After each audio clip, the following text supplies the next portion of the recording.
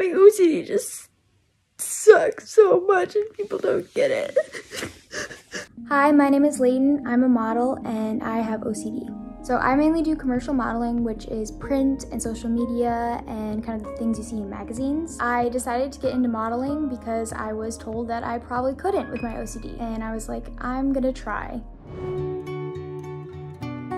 I was first diagnosed with OCD when I was about three. My parents noticed that I was crying a lot. I was not really able to function very well on my own. Having a little panic attack, so that's fun. And it was really hard to see all of my friends being able to like run around and play and not really have any anxiety. And there I was trying to do these same things, but it took about 20 times the effort. Kept having these like extreme anxieties even at like three, four years old. So I started doing therapy at about five, I believe, and I was told I was never really going to be able to live alone or go to college or anything like that.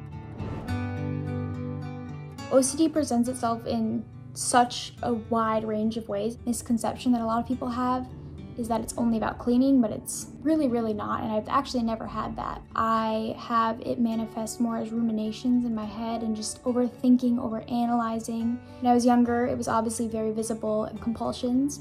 I had a lot of trouble in school because I would be doing constant rituals and I had a lot of anxiety just doing basic tasks, repetitive behaviors, and I was doing tapping, which is a common thing you do in OCD, which is kind of a ritual. I still have little ones that I just kind of let slide. Like when I enter a room, I always enter with my right foot, and I just kind of let myself have that. So a day for me usually is waking up, taking my medicine, drinking a lot of water. Taking medicine has been really necessary, but I've also struggled with feeling extremely guilty taking it because I want to be able to defeat it myself. And I've adjusted my thinking a lot and accepted that, you know, medicine is okay and it's actually something that can greatly just make your brain more stable. Sitting in bed and trying to deep breathe because in the morning I'm usually pretty anxious. Try to do yoga every day because that just helps kind of get all of my junk mail in my head out of my body. Constantly thinking about like trying to eat as much as I can because I get so anxious that I completely forget or it's really hard to eat sometimes and that's something I've struggled with a lot. Also really hard to eat when you're panicky, so shout out to Go-Go Squeezes. And Larabars. Usually I have a job sometime during the day, so I prep myself. I don't usually have a lot of ticks, but I do have a few and it's like always in the morning when I'm doing my skincare getting ready stuff. As hard as I've tried and worked to get rid of all of them, there's a few that I don't really have the energy to push away. Okay, so I've always had a weird thing with having to have things start in my right hand. So whenever I get like any sort of product or something that I'm doing in the morning, I always start with my right hand and put it on my left hand. I go in my car before I shoot and I calm myself down. I do a lot of deep breathing techniques. Then I go into the shoot. A lot of times I will tell the photographer that I have OCD and that I potentially can get a rash on my chest because I just get anxious people ask about it, they're like, oh my god, what's on your chest? And then obviously I get more subconscious. I am very thankful to have some really great makeup artists that can cover it up and they're pretty receptive. If I get a rash, we address it and allow me to like have a minute of space, which has been awesome to like be able to say I need space and I need just a second to calm myself and realign myself before we shoot again.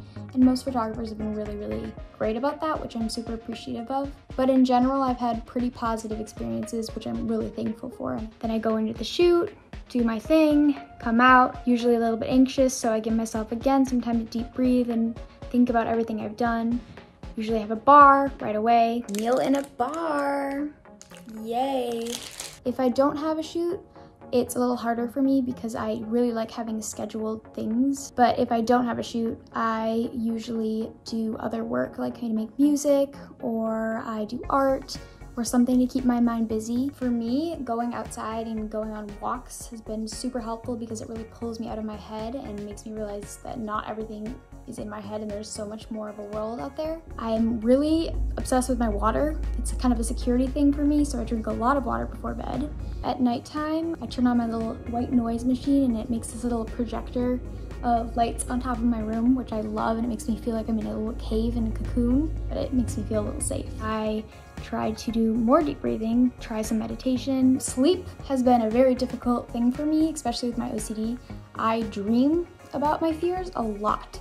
and that has been very, very hard on me. I recently was able to talk to a sleep doctor, so it's been a lot of figuring out the right medicine, figuring out the right sleep time, and that has helped me kind of get onto a better schedule of sleep, which has in turn helped my anxiety a ton. One of the things I've always liked to do is to challenge myself on things that people say I can't do because I have OCD. And one of those is modeling. Getting in front of a camera is like the opposite of what someone would think someone with OCD would do. So modeling kind of requires you to be out there, to look really confident, to be, you know, really able to just jump in and do anything. And with OCD, that's kind of the opposite because I, for example, overanalyze everything I've ever done. And in modeling, you kind of have to just push that all aside. And I think that's maybe why I like it, is that I was able to compartmentalize and put my anxiety in a corner. And then when I went and do the actual physical shoots, I get a release. But I analyze to the extreme, to the extreme until I get to the actual shoot. Before modeling, I usually think about where my hair looks like, what I'm gonna do for poses, how I'm gonna stand, what the camera is gonna look like, and where I'm gonna be in front of the camera. I like think every little thing out so I've kind of just learned to push through that. And, you know, being in front of a camera, especially, was something I never thought I would ever do. And I finally got to a point where I was like, you know what? This is who I am. If I get anxious and I have a rash, that's just gonna happen, and that's okay. Coming from a place where I was told that I wouldn't be able to live alone, to go to college, to make my own path by myself, and now being able to say that I make music and I model and I live alone full time is something I am so incredibly proud of. And OCD will always be a part of me and it's always going to be something that I'm going to work with every day and going to have ups and downs.